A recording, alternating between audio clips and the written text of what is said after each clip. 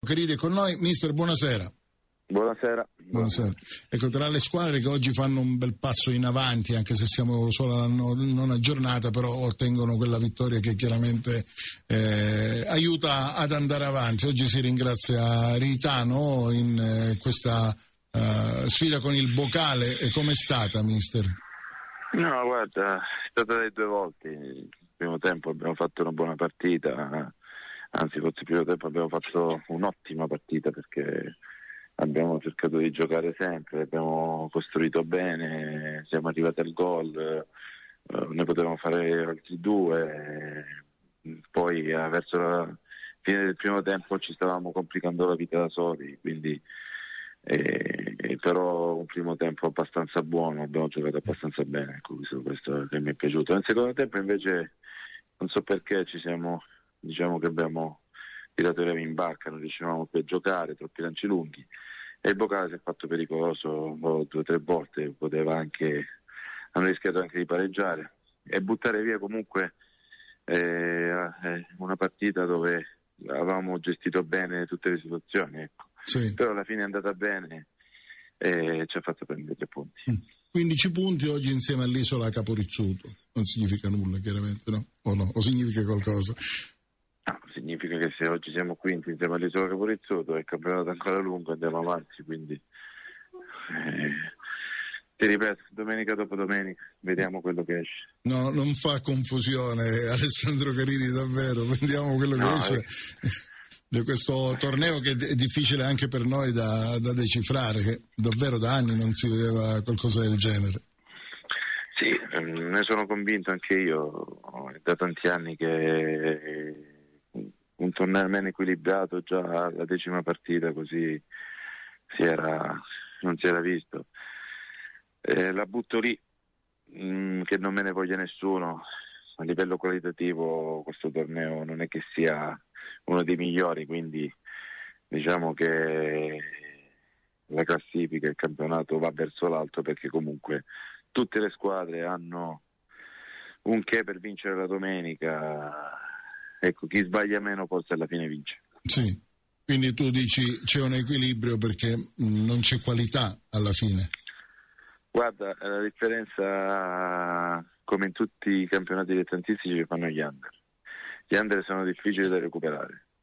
Chi ce li ha se li tiene ben stretti e chi non ce li ha eh, o chi ne ha pochi la domenica uno ha, ha problemi per fare formazione, per il modulo, per eh, perché magari c'è l'infortunio, c'è la squalifica, quindi eh, le rose sono abbastanza strette, almeno levato due o tre squadre, almeno per le altre, e quindi è difficile eh, vedere anche la giusta qualità, perché comunque eh, gli under 2003-2004 già ce l'hanno in Serie D, quindi eh, se un 2003-2004 va a scegliere eh, è normale ed è giusto che sceglie di andare in Serie D che giocare in eccellenza sì. eh, e quindi eh, si va a calare sempre purtroppo la qualità eh, i giocatori più bravi magari i ragazzini più bravi e non da crescere diciamo perché comunque tu ti trovi ragazzi che comunque anche se sei nel campionato devi cercare di crescere farli, farli diventare giocatori allenamento per allenamento ma intanto le partite passano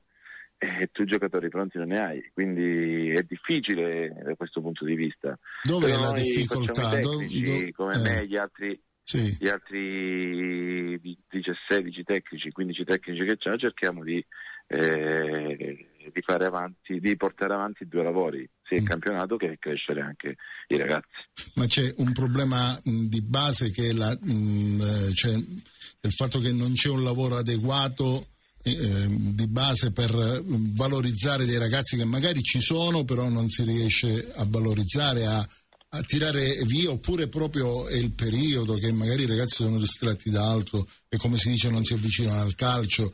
Qual è il problema? Me, secondo me è zeccato il punto, ecco. Mm, Do, cioè, dove sono le responsabilità? C'è poca reperibilità, eh. ecco, eh. ma qua non è una questione di responsabilità, anche perché non è più il calcio di una volta, oggi abbiamo tutto, eh, i ragazzi hanno tutto, quindi possono scegliere tranquillamente se giocare a calcio o meno.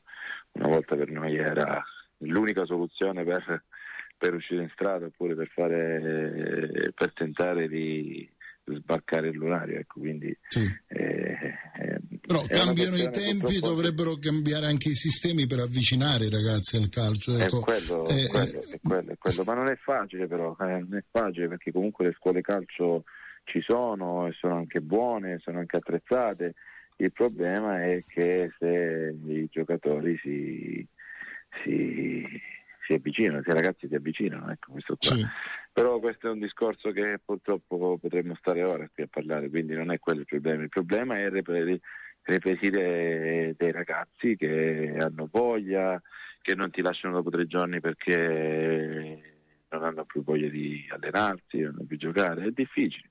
Però in tutto questo noi cerchiamo di fare eh, il giusto per, per almeno eh, cercare di dare uno spettacolo decente anche se siamo in eccellenza, quindi oggi sono contento per i primi 45 minuti, meno per i secondi, eh, ma soprattutto anche grazie a Bocale che in secondo tempo ha alzato anche lui l'asticella e quindi ci ha messo anche in difficoltà, quindi merito a noi per il primo, ma merito anche al Bocale perché comunque nel secondo tempo ha fatto qualcosa in più.